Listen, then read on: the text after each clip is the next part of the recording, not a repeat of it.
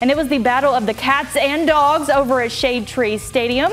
After recovering a fumble deep in Wildcat territory, the handoff to Cameron Bull puts the first points of the night on the board. It is 7 0 Scotties. It didn't take long for the Wildcats to respond as a heavy ground attack was capped by sophomore Aiden Jones. It's tied at 7. The Wildcats stayed on the prowl as senior Lane Alford takes the toss and plows through the Scotties defense to keep the sticks moving. Next play in the gun, Brady Delk rolls left and he finds Colin Anderson in the end zone. An incredible grab by the senior. It's 14-7 Franklin Simpson. But okay bet, Hudson Gum says anything you can do, I can do better. He finds Kellen Stone for the equalizer. It's 14-14. Now these get time, these two teams went tick for tack in the first half, but the Wildcats secure the win 35 to 21, moving to 2 and 1 in district play.